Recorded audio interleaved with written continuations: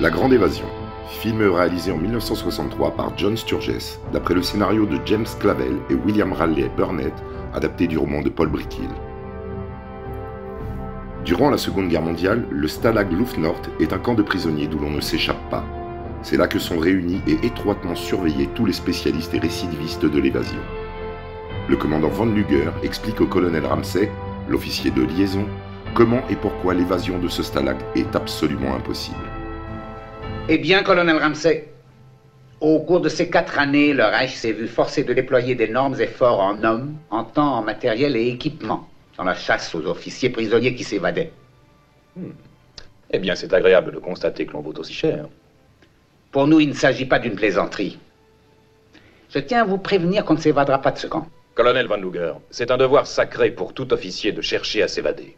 S'il ne peut y arriver, son devoir est de contraindre l'ennemi d'affecter à sa garde un nombre disproportionné d'hommes. Et son devoir consiste à harasser l'ennemi au mieux de ses moyens. Oui, je sais.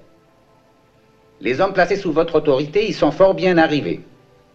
Nous y mettrons fin. Colonel, escomptez-vous que des officiers oublient leur devoir? Non. Et c'est parce que nous envisageons le contraire qu'on vous a mis ici. C'est un nouveau camp. On l'a bâti pour vous garder, vous et les vôtres. Il est organisé en fonction des plus récents perfectionnements en la matière. Et en moi, vous n'aurez pas affaire à un simple geôlier, mais à un gradé supérieur. Par une intelligente collaboration, on pourra peut-être attendre la paix aussi confortablement que possible. Mais ce faisant, les nazis ont involontairement réuni la meilleure équipe de spécialistes de l'évasion de toute l'histoire militaire. Parmi eux, le capitaine Virgil Hiltz, le roi du frigo, le capitaine Bob Henley, le chapardeur, le lieutenant Daniel Velinsky et le capitaine William Dix, dit Danny et Willy les rois du tunnel.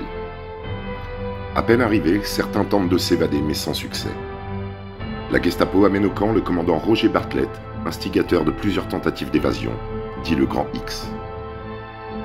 En accord avec le colonel Ramsey, il décide d'organiser l'évasion de 250 prisonniers.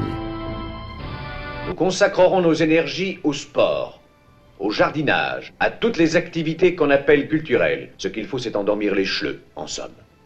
Pendant ce temps, nous creuserons. Un regard superficiel sur le corps montre que les baraques 104 et 5 sont les plus près des bois. Le premier tunnel partira de la 105 et filera à l'est sous le Fort Lager, le frigo et l'enceinte. Mais ça fait plus de 100 mètres, ça, Roger. Vous avez fait un relevé, Denis Mais je ne l'ai pas terminé. Il ne porte guère plus que sur 80 mètres. Quand vous l'aurez fini, euh, prévenez-moi. Combien d'hommes comptez-vous faire sortir, Roger? 250.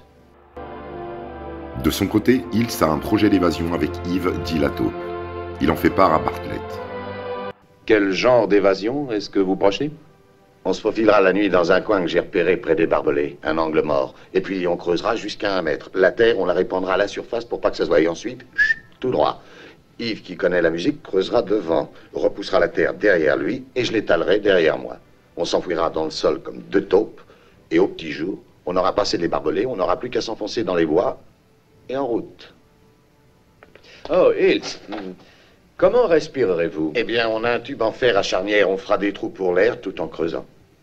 Bonne nuit, colonel. Malheureusement, leur tentative échoue et ils se retrouvent au frigo. Les hommes continuent à creuser les tunnels, mais l'évacuation de la Terre pose un problème. C'est Eric qui trouve la solution. Vous ne me croirez pas, mais je crois avoir la solution. Tout le problème est d'arriver à se débarrasser de la Terre dans l'enceinte de Oui, l'Oflag. mais ça va de soi. Vous permettez. Vous bourrez ces sacs avec les déblais du tunnel. Puis, vous les enfoncez dans vos pantalons. Vous vous baladez dans le camp, et alors, de vos poches, vous tirez sur ces ficelles. Et les épingles se détachent. Tout ce qu'il vous reste à faire, c'est de l'étaler avec les pieds. Du coup, tous les prisonniers se mettent à jardiner au grand étonnement du commandant du camp. Chacun participe à l'organisation de l'évasion en fonction de ses compétences.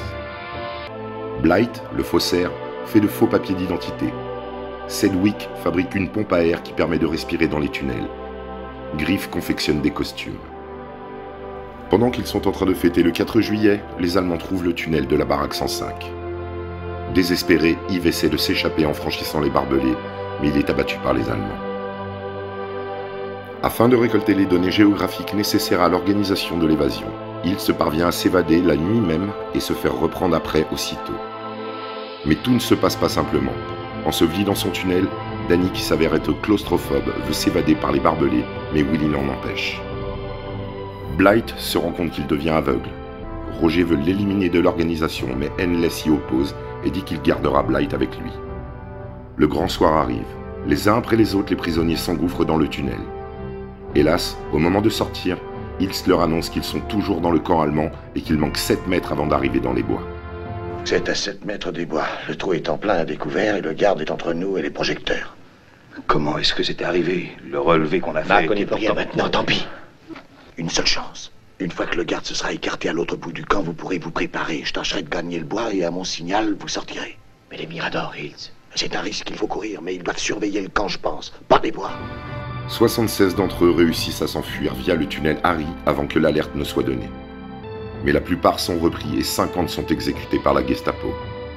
Seuls en réchappent Danny et Willy qui parviennent à embarquer sur un bateau en partance pour la Suède, et Sedwick qui réussit à passer en Espagne. Après ce cuisant échec, le colonel Van Luger est relevé de son commandement.